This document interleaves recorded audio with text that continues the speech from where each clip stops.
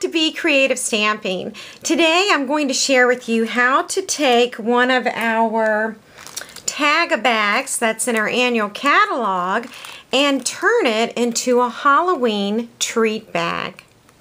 We will need the following supplies. The first one is a package of the Sketched Dots tag a bag and these do come in quantities of 10 per package. And if you look at it up close, it's a glassine bag and it has the little whisper white dots on it.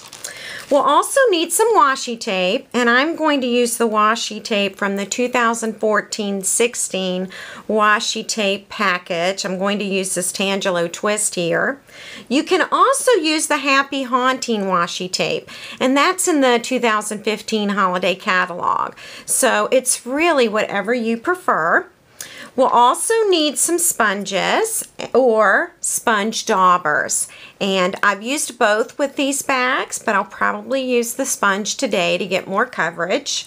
And ink, we'll need Tangelo Twist and Hello Honey.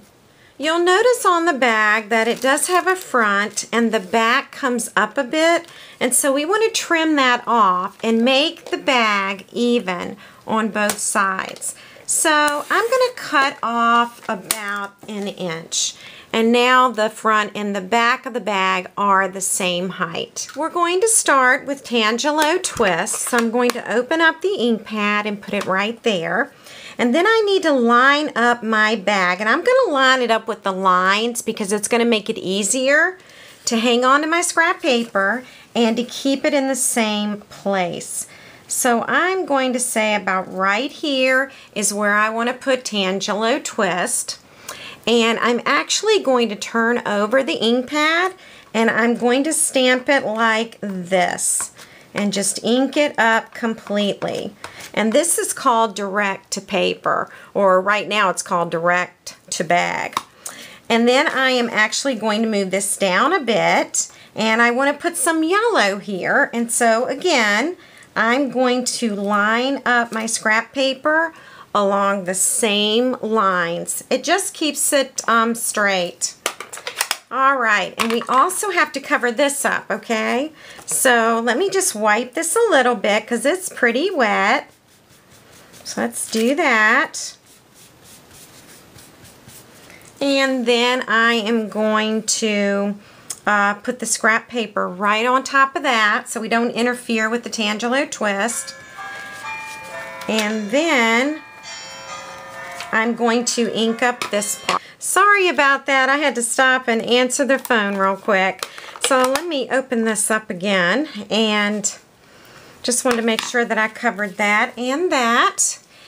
And now I'm going to take my tissue, dry this off a little bit, but I'm also going to be uh, uh, mixing these two colors, okay? And then if you wanted to make it a little bit darker, then you can always take your sponge and go back over it like this. All right. And here's Hello Honey again.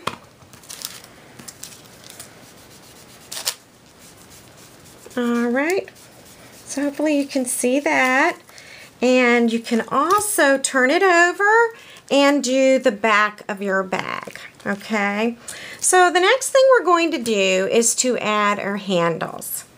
We're now ready to add the handles and we are going to need 12 inches of washi tape.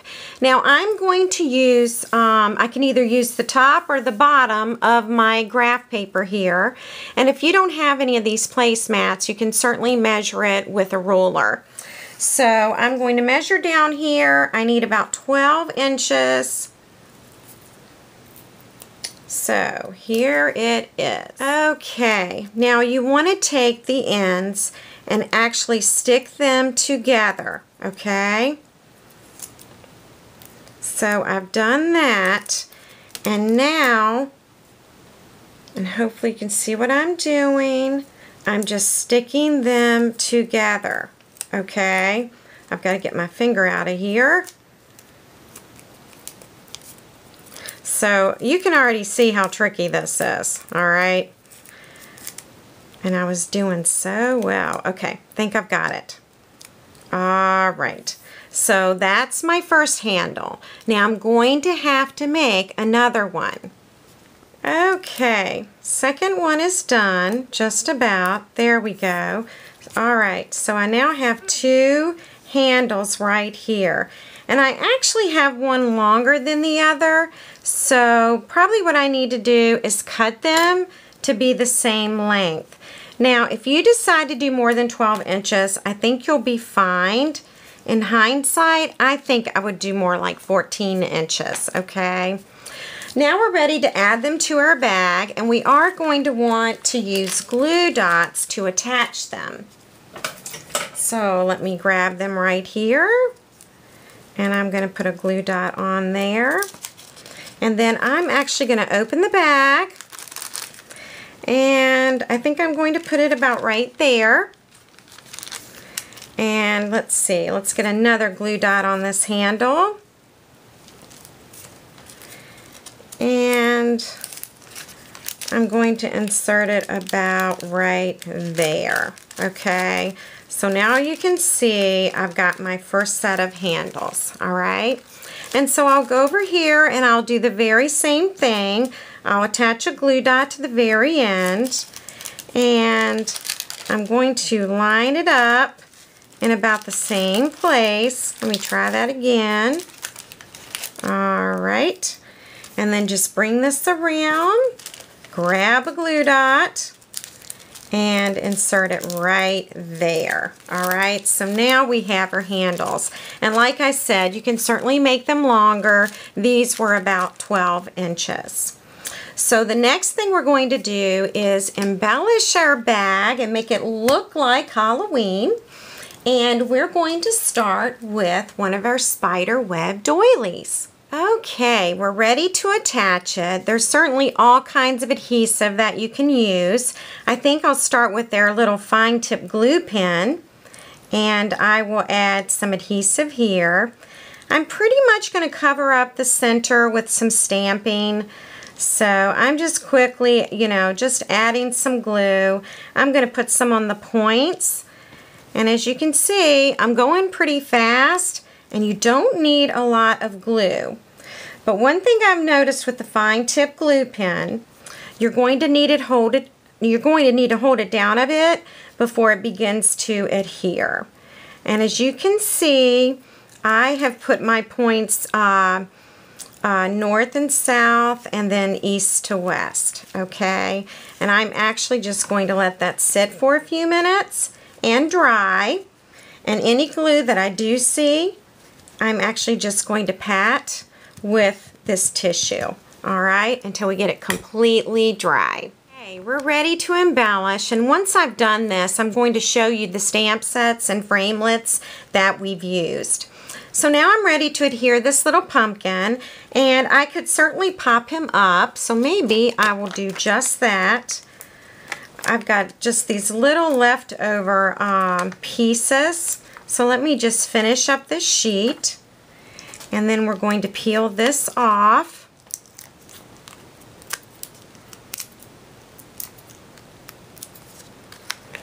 And then we'll just pop up our little pumpkin face. And again, I'm going to want, want to do the same with the hat. So here we are. I will put one there. And I'll put one more close to the pumpkin's uh, face. All right. And then we'll just kind of tilt his little hat on over. And um, he's just a cute little Halloween treat bag ready to fill with candy. Let me show you some other ideas. Of course, you probably have seen this one. This is the skull and crossbones. And here is another one this is Trick or Treat, and actually, we're going to go ahead and we're going to put this one together, and all I'm going to do is cross these, okay? And I think I'll use a glue dot.